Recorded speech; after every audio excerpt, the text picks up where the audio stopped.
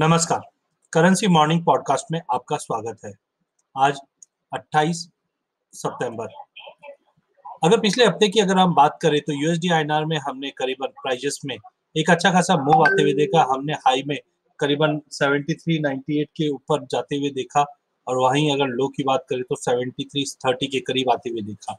But overall short covering दिखा रहा है। जिस ढंग से हमने इंटरनेशनल में भी देखा डॉलर में जो तेज़ी है, उसका सीधा सीधा असर यूएसडी पे पड़ता हुआ दिखाई दिया।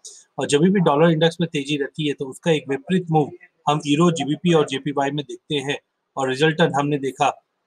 ईरो में करीबन डेढ़ परसेंट की गिरावट के साथ 85 80 के करीब मार्केट क्लोज होता हुआ दिखाई दिया। पाउंड में भी हमने पौने परसेंट से ज़्यादा की गिरावट आते हुए देखी, जो प्राइजेस 93.66 के करीब क्लोज होता हुआ दिखाई दिया।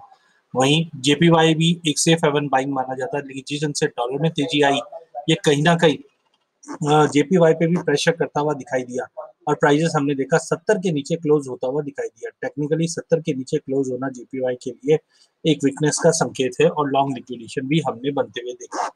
वहीं शुक्रवार के सेशन की अगर बात करें तो यूएसडी में जो सितंबर वायदा है ये करीबन 73 72 के करीब क्लोज होता हुआ दिखाई दिया। आज की ओपनिंग 73 68 के करीब की होनी है।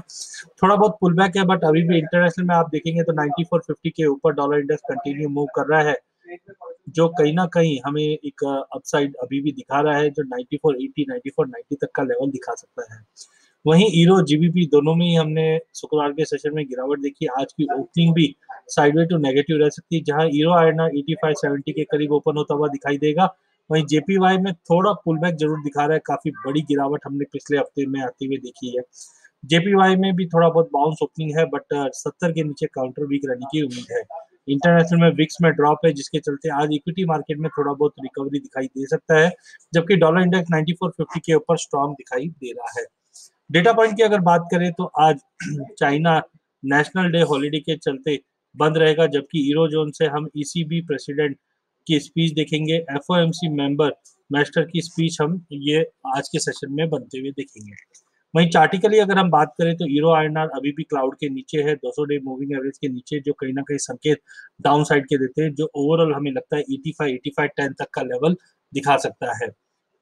वहीं अगर पाउंड की बात करें तो हमने यहाँ पे inverted cup and handle pattern breakout होते हुए देखा और साथ में प्राइजेस 200 डे मूविंग एवरेज के नीचे है। जो कहीं ना कहीं संकेत देता है 90.80 तक के भी लेवल हम देख पाएँगे। आज थोड़ा बाउंस ज़रूर है बट उस बाउंस पे हमें बेच के चलना चाहिए। इचीवी को भी रेड कलर में है। इसी के साथ आज का वीडियो समाप्त है। अगर आपको वीडियो पसंद आया तो इसे लाइक और शेयर ज़रूर कीजिए। धन्यवाद।